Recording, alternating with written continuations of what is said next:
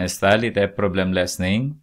I en rektangel är den ena sidan tre gånger så lång, så lång som den andra sidan.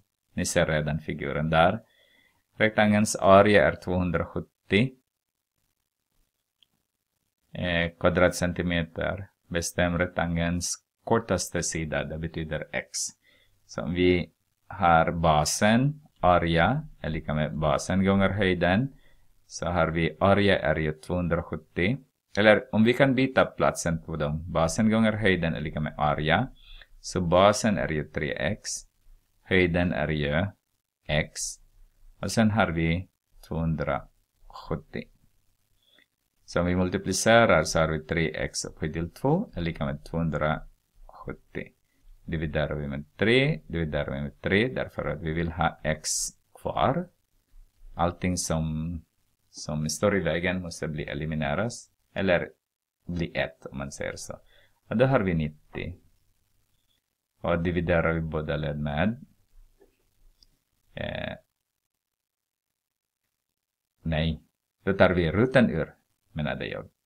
Eh, då har vi x är lika med positiv negativ ruten ur 90. Jag ska förklara den här därför att eh, eh, det kan vara att det kommer på provet. Har vi, det jag säger här, skriv 90 exakt.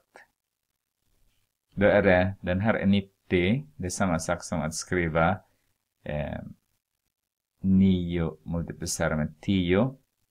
Och 9 har vi ju ruten ur av 9 är ju 3. Och sen ruten ur 10. Den där kan vi göra. Det här kan ni göra. Så istället att skriva här eh, roten ur 90 så har vi x är lika med 3 roten ur 10. Men de, det här är det, det som kallar exakta värde.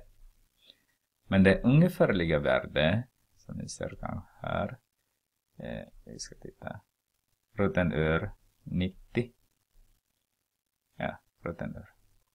Så ser ni att det är 9,49 eller ja, 9,5, cirka 9,5 centimeter. Så ni ser är att i byggbranschen kanske är exakt som är viktigast, inte det ungefär. Därför när, när vi avrundar så blir det stor skillnad.